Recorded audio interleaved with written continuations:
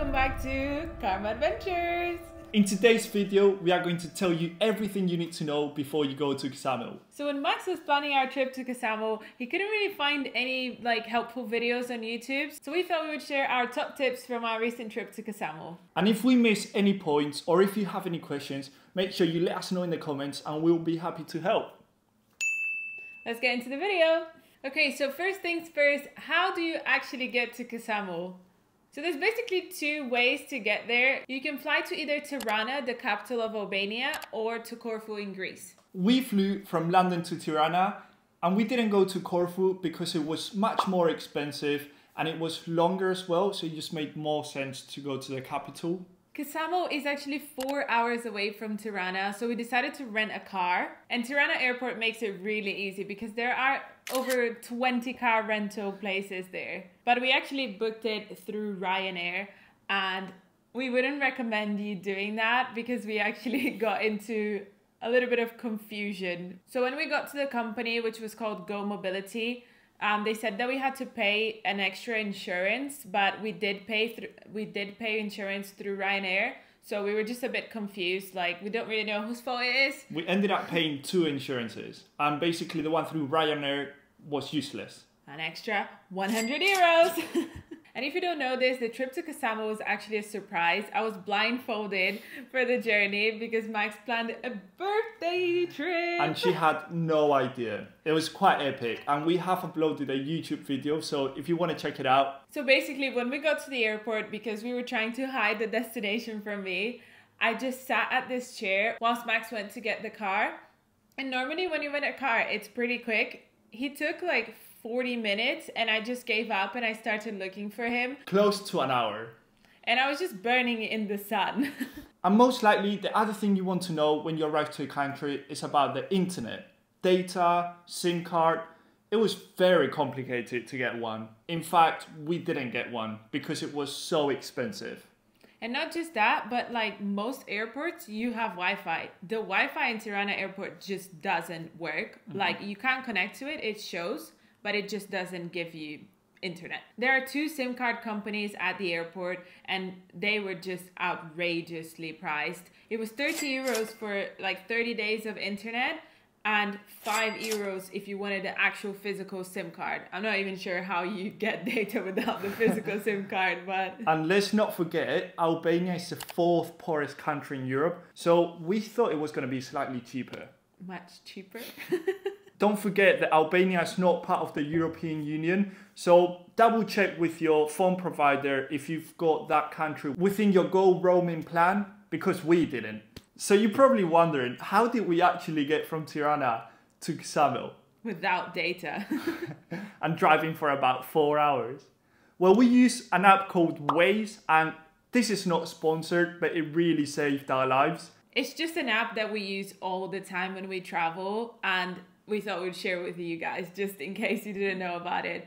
And we were able to use it offline. And we did make it to Ksamil driving there, but it definitely wasn't without its obstacles. Driving in Albania was very intense. Firstly, most of the people don't comply with the driving laws. And then the main motorway was only two lanes, and the right lane always had potholes. So even if you were driving slow or fast, everyone was on the left lane, which made it quite complicated and perhaps sometimes a lot of traffic. And Max just wanted to comply with the regulations, with the laws, the driving laws, and he stuck to the right side. And then we just start passing all these potholes, and I was like, I think you should move to the left. And something really expected that happened to us was when we were driving around looking for a SIM card, we decided to go to the Tirana like city center and we encountered so much traffic. So we basically got stuck in traffic for like two hours. So if you do plan on going to the city center, just be aware that you will probably be stuck there for a while. So avoid that direction. Go straight to Ksamil. And if you're not renting a car, you can always take the bus, but it will take a lot longer. And now, let's jump into the people in Albania. First impressions at the airport weren't great. We felt that people weren't as welcoming. But the more time we spent in Albania, we realized that people were actually really nice and very friendly. By the way, don't expect people to speak English from the airport to Ksamil. In fact, we stopped in around three gas stations and hardly anyone spoke English. But in Ksamil, because it's such a touristic place, everybody speaks English really well. One of the most important questions whenever you go anywhere and plan a trip is where to stay. From our experience in Ksamil, there are two main beaches, and we felt like the one that we stayed was the best one. And our recommendation is based on how close these beaches are to the three inhabited islands. And this is because it's one of the main attractions of Ksamil. However, we'll be speaking about this slightly later in this video. And the section where we stayed had bigger beaches and it was also closer to the three islands. We were only one minute walk from the main beach, which it was just spectacular. It was insane. when I was doing my research on what hotel to stay, we decided to go beachfront now, in Ksamil, you've got both ends. You've got very expensive hotels and budget hotels, and most of them have swimming pools. But do you really need a swimming pool when you've got the beach one minute walk away? And that's why we decided to stay in Emaar Hotel Ksamil. It did not have a swimming pool, but honestly, right in front of us, there was this really nice hotel with a pool. We didn't see a single person inside because you are one minute away from the beach don't bother spending that extra money. when Max was doing the research, he told me that most of the high end beachfront hotels, the prices varied from 80 euros to 100 euros. But we only spent 40 pounds a night, and I think that's budget for a beachfront hotel. But be mindful that we went in May, so the prices will obviously vary during the peak seasons. So if you want to know more about where we stayed, we did do a separate video reviewing our hotel, so make sure you go and watch it. Before we talk about things to do in Ksamil, let's talk about food. We loved the food in Ksamil, but I got food poisoning. First things first, we went to the supermarket and we got some snacks and some ham to make some wraps for our adventure going to the islands. And on that same day that we had the ham, we also went to a restaurant that was amazing and they had fresh food. So we ate this amazing pasta and pizza. And you're probably thinking, who eats pizza in Albania? This is because there's a lot of Italian influence in Albania, and that's why most of the menus that you will find have pizza, risotto, pasta. Now, back to the food poisoning story. After a very long day out, we got back to the hotel, and Max just had a really bad stomach. But I was fine that night. It was just the next day, I woke up and it was a roller coaster of emotions. Basically, I had food poisoning, I had diarrhea, vomiting, and on the way to the airport, we had to make loads of stops so I could just go to the toilet. And she actually threw up. When we got to the airport, I had to ask Max to go and basically find the first aid because I knew I had fever. So it turns out I had fever and we were very worried that we weren't going to be able to board the flight, but it was fine. So a lot of restaurants in Ksamil have this ocean view and when you're having dinner, watching that sunset, it feels like a movie. But something that you must be thinking about, is Ksamil expensive? Well, we found that eating out is actually not cheap, but not expensive for a pizza, you can expect to pay around 9 to 11 euros, which is a fair price. And these were the best pizzas we've ever had, like better than Italy. Sorry, you might not agree, but it's true. And we keep talking about euros, but what currency do they actually use in Albania? Albanian lek. One euro equates to 100 Albanian lek, but most of these places do accept euros. But make sure that before you pay, you ask to get euros back because some places will just give you lek. If you're paying in cash.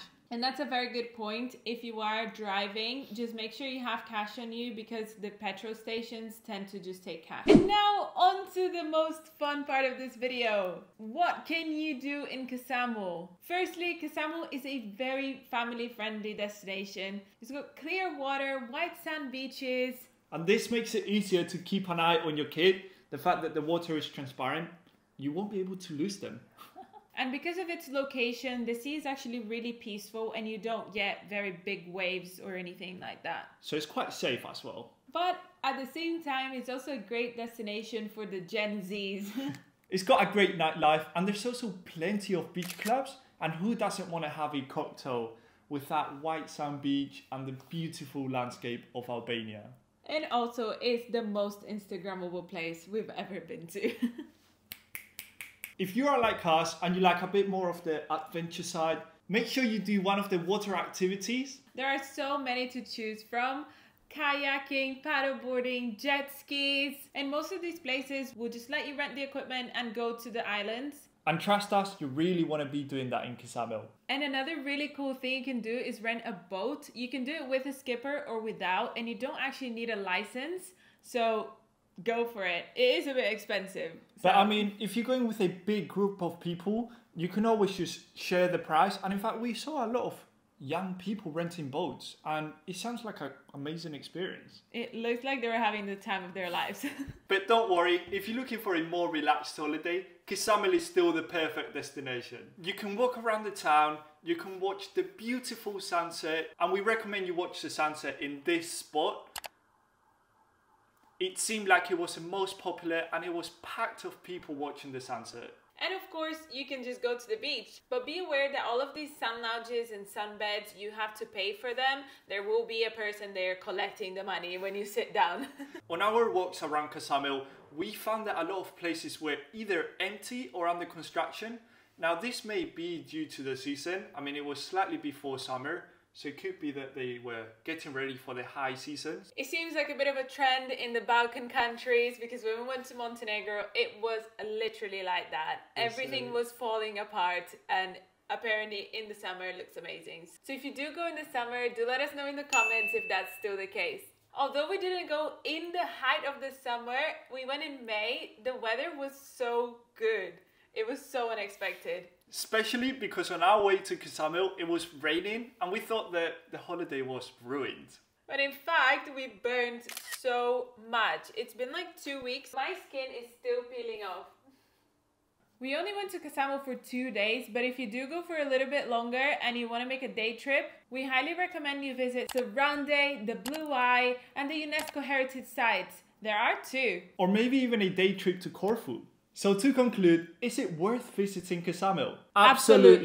It is just a stunning place. And although we thought it was going to be cheaper, it was still a reasonable price. And overall, it's just the perfect place to relax and enjoy your time in this paradise of a destination. And that's it for today's video. Thank you so much for watching. And don't forget to like, and subscribe. If you still haven't watched our latest video, make sure you click here because if YouTube is recommending this video, it means that you must watch it.